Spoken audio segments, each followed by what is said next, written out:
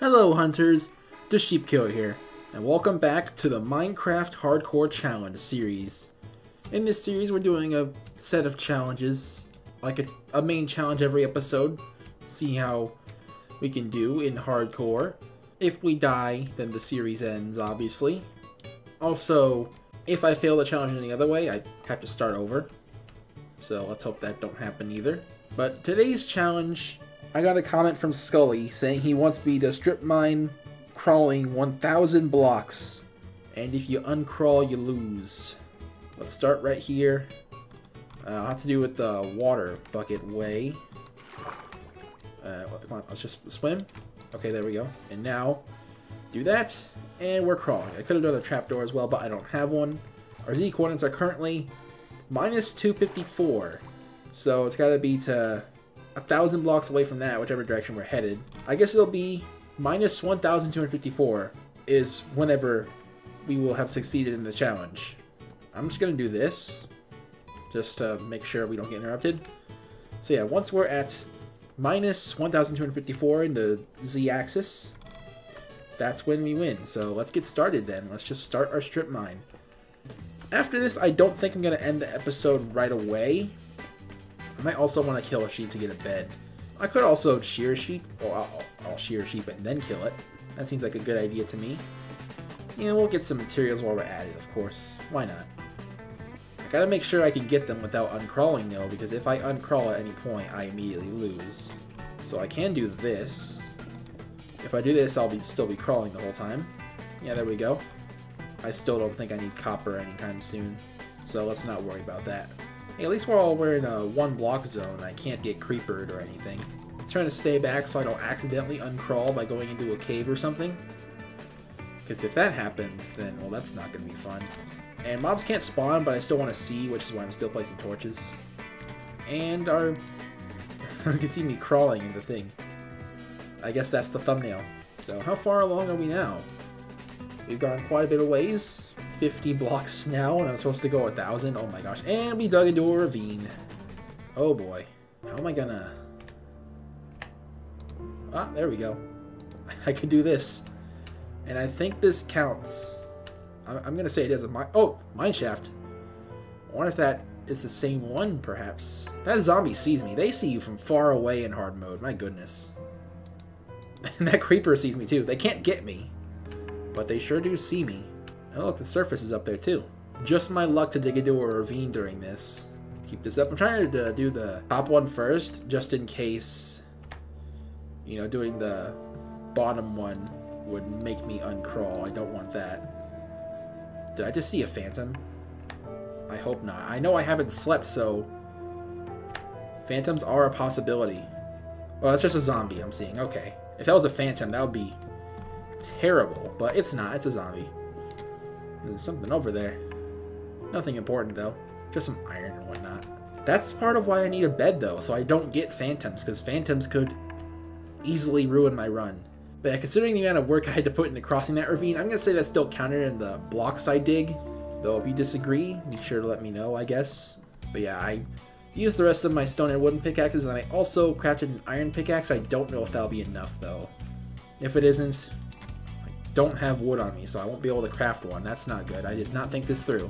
And this must be the mine shaft again. I don't care. Let's just dig through it. Actually, if I were able to reach any wood, then I could grab it, but there's no wood over here. Yeah, no wood. And that's not even the mine shaft, that's just a cave. And I think we came up with some copper. So even though I wasn't planning on grabbing any, we got some anyway, because it was along the way. But I wonder how far along we are now. Probably not as far along as you'd expect considering I spent a decent amount of time crossing a ravine. Minus 384. We're not even close. I'm not to make it. I did not think this through. Maybe I don't count the part where if I uncrawl I have to start over. I just have to go in a straight line. I don't know. Let's swap these so, so it's easier to swap between the coal and the torches. I mean the torches and the pickaxe, whatever. Every time it gets dark. You know what? Let me just put them in my right, in my left hand. I made the same mistake in that first Minecraft video. Yeah, let me just keep them in my left hand. That way I can easily place torches. I don't know why I didn't think of that earlier. And gravel, and I don't have a shovel, so just gotta do this. Actually, let me do this. There we go, do the little trick.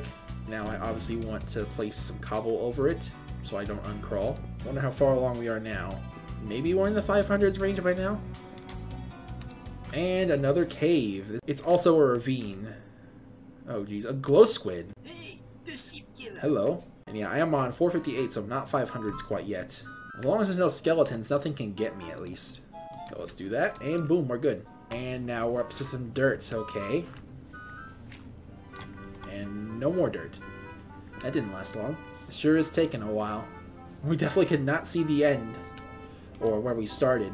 I wonder if we'll ever dig outside. I doubt it, considering we started from underground, but you never know.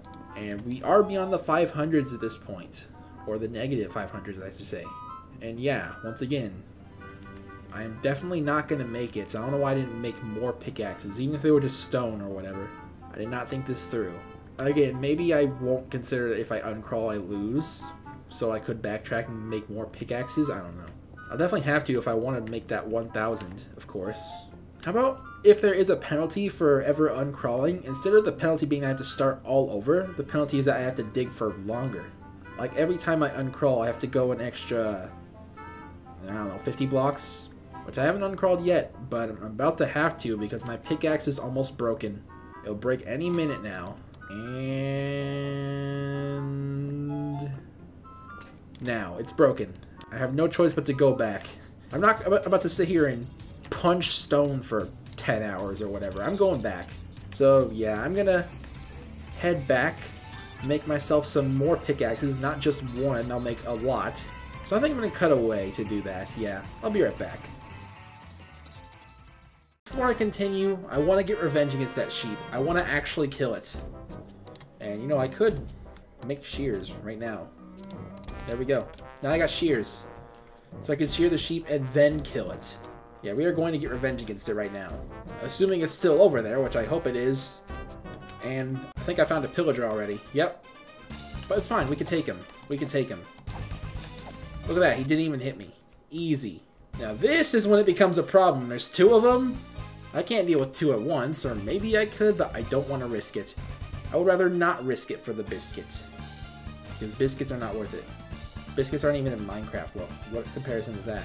Uh, no sheep in sight. That's unfortunate. That means the sheep despawned. But yeah, the sheep's not there. No revenge today. Alright, I'm back in the cave. This time we're prepared with all sorts of things. So let's get this started. Let's continue.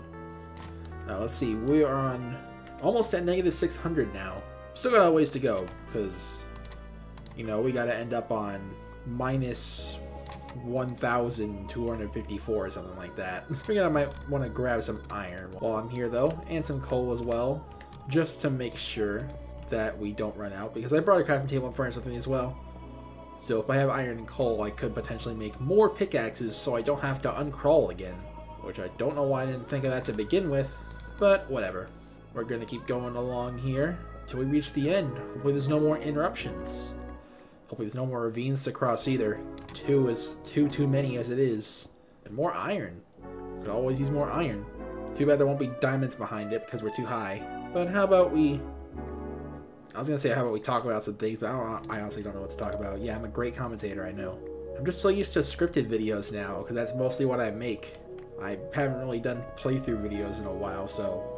But yeah, I feel like this is a good idea for a series. So far, the only new challenge idea was from Scully, of course, and it's the one we're doing now.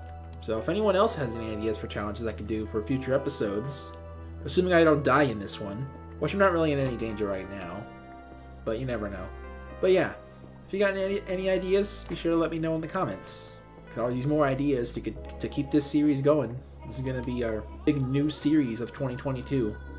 Episode 1 was at the beginning of the year. Yeah, I don't know when exactly this episode is going to come out, but I'm recording it on like January 7th. But who knows when it's actually going to come out. Definitely not going to be on that day, that's for sure. Regardless of all that, if you have any ideas for future episodes, let me know.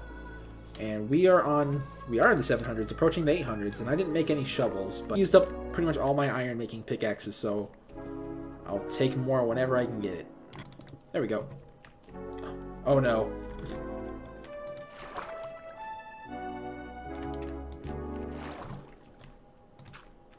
Yeah, I accidentally stood up and then blocked up the water so I don't have the water anymore. I think I said that a penalty for standing up would be digging an extra 50 blocks, which would mean I have to dig 100 extra now. So our stopping point isn't actually minus 1,254, it's minus 1,354. Still a better penalty than starting over entirely, but it's also still a pain. We are somewhat over a ravine, though, not as much as last time, so we can just pile straight across. That zombie sees me. How in the world would a zombie ever think to look up like that? Like, the further I go into recording, the less I have to say, so whenever I record for a long time, this starts to happen. That's one reason why I don't like super long recordings. The other being they take absolutely forever to edit. I actually ran out of coal making torches and whatnot, so that's why I'm trying to grab as much coal as possible as well. Just hope it's not a mistake. Hope I'm still able to make it to the end. Well, with all the iron I got, I will be able to make more pickaxes if I happen to run out, so not a big deal. We are almost on negative 900. Still got like 450 more blocks to go after that, but... Hey, we're over halfway there. After all this time, only just past the halfway point. Why did Scully have to give me the worst challenge? Hope I'm at least able to find a sheep to kill once I'm done with all this. That'll make me feel better. Also, some people, mainly Scully, have asked me if I ever considered wanting to live stream at some point as well. A big reason why I'm not so sure on that is the same reason why I'm not really big on recording for a long time, because I start running out of things to say for a while. And yeah, live stream is a different situation. If I have people in chat, I'll be talking to them. And I don't even know what I'm talking about. I am just saying that a pre-recorded thing and a live stream are different. Again, this could just be a result of what I was saying earlier, like how I ran out of things to say after recording for long enough. I guess we've gotten to that point. At least we got like 400 blocks left to go. Oh gosh. What Y level am I on? 48? Yeah, definitely not gonna ever find diamonds up here. You know, I think I found a thing to talk about actually. How things have changed throughout my six, almost seven years on YouTube now. It, it's changed quite a lot. I started off YouTube doing this kind of stuff, Let's Plays, but it started off with a Pokemon Let's Play. And now I don't really do playthroughs as much anymore, because I gravitated more towards scripted stuff, I guess. But I started with the Let's Plays, so things have changed quite a bit. And also, a lot of people that are subscribed to me don't even like Pokemon, which is funny when you think about how that's what this channel started with. I started with Pokemon, and now a lot of my subscribers don't care for it. That's at least what I get from a community post that I made, and I don't know if the people that see my community posts and the people that see my videos, I don't know how often they overlap. I know there are some people who only see my community posts and nothing else because they choose not to watch the videos, which means they're not watching this video right now. So yeah, maybe that's just the community post people and the people that actually watch my videos do care about Pokemon? I don't know. Let me know if you if you like Pokemon or not. Also, assuming I get this video out before Pokemon Legends Arceus releases, which it should be out before then, considering the date this was recorded, are you planning on getting and playing that game? I know I am. It's one of my most anticipated games of the year. yeah, let me know if you're getting that or not. I'm just asking as many questions as possible for the comments. Like, do you like Pokemon? Are you getting Legends Arceus? Let me know what challenges to do. I mean, rumor has it comments are good for the algorithm, so I, I, I, don't know if that's true. It probably is. I don't know exactly. I don't know how the algorithm works. But if it is, then your comments could help out the video to get to more people. And now we continue digging this way. That's also a good way for me to know how many of you actually like Pokemon. I know many of the people on the community posts don't, but do you guys like Pokemon? And if you do, are you getting the upcoming game, Legends Arceus? Like I said, I definitely am. Oh, we got some deepslate. I think that's deepslate. Uh, yep, that's oh, that's basalt. Wait, smooth basalt? I thought I thought that was another thing. We must be near a ruined portal. Is that true? Or is basalt something that could spawn in? Oh, Ooh, we found one of the amethyst geodes, didn't we? Yes, we found an amethyst geode. That, that's pretty cool. Ooh. I don't want to uncrawl, but that's pretty nice. I'm glad that we came across one of those, because these are pretty cool looking. I wonder what block we're on now, or, or what z-axis we're on. We're past the negative 1,000. At least from what I've seen, reception on the game is like incredibly mixed. People are either very excited for the game or don't care for it at all. there are people in the mid uh, in the middle on the fence as well, but I mainly see either one of those two sides, and I'm definitely on the more positive side. I'm really looking forward to Pokemon Legends Arceus.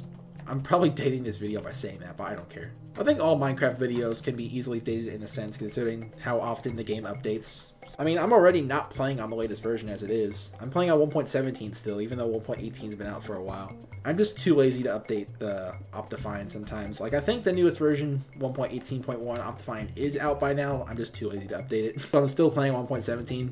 It doesn't really make a difference for this episode in particular anyway, so not a big deal. But yeah, again, about the Pokemon game. It just seems like a big change for the series, like a change that the series has needed for a while. A lot of the games, they have like the same formula. This game definitely does not. In fact, it's so different that some people even think that it's not a main series game. It is, but for people to even think that it isn't shows how different it is from the other games. Like obviously in previous games, whenever you go into a battle, it does like a transition into a battle arena or whatever. But in this game, it's you go into battle seamlessly, like no no transition or whatever. So that's pretty cool. That's the first time that's ever been a thing in the series. And that also has me think that shinies will appear in the overworld once again because it'll be weird for a Pokemon to not be shiny, but then the moment you enter battle, it just randomly turns shiny. I mean, there's no transition into battles that happen seamlessly, so that would just be very jarring if Pokemon didn't become shiny until a battle started. Now, I feel like there's definitely going to be overworld shinies in that game, and there's probably going to be a lot of people experiencing shinies running away from them, and then the pain settling in. I hope that doesn't happen to me. I only ever failed one shiny in my entire time playing Pokemon. It was a shiny Altaria in Pokemon Ultra Moon. It fainted from Perish Song, but I already had a shiny Altaria because certain shinies are really common in that game, Altaria being one of them. So my one shiny fail that I've ever experienced wasn't even that big of a deal because it was for a relatively common shiny that I already had. So yeah, not a big deal at all. That's the one shiny fail I've ever had. And yeah, it was not a problem. And we got some calcite here, and I'm about to use it. There we go. And some smooth basalt. I thought basalt was only in the nether. I didn't know basalt could be in the overworld as well. That's weird. I thought we were near a nether portal at first because of that, but nope. We were near uh, Amethyst Geode. There's just a, a lot of reasons, in my opinion, to be excited about the upcoming Pokemon game. Of course, if you don't like Pokemon, you you're probably not going to care about the upcoming game. I mean, if your main problem with Pokemon is that all the games are the same, then that's not really a reason to skip out on Legends Arceus because it's not the same, at least not entirely. That's just what I think about the game. Let me know what you think as well, like I already said. If you want to, of course. You don't have to comment if you don't want to. But anyway, how far along are we now? Minus 1,200. So we have 154 blocks left to left to go. Once we get that distance, we will be done and we can return to where we were. We are so far away from home right now. It's ridiculous. I might consider going back on foot because it'll be quicker. And we ended up in a cave, which I don't want to check out. But let's just keep going. Let's keep going. And ravine yet again. There's gold down there. It's pretty cool. If I happen to see diamonds, I would have to go down and get them, but I don't see any, so we're okay. Oh!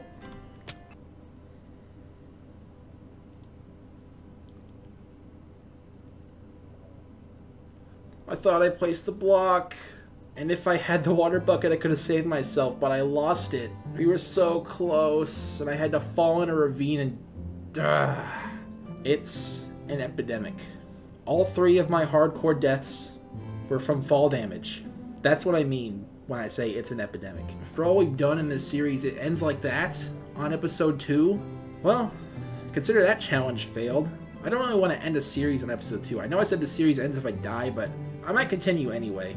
If I get more challenges in the comments, this series will continue, but if I don't, it ends here. But that's definitely going to be where the episode ends for now. I can't believe it ended like that. Of all ways, are you kidding me? I'll see you guys next time. Happy hunting.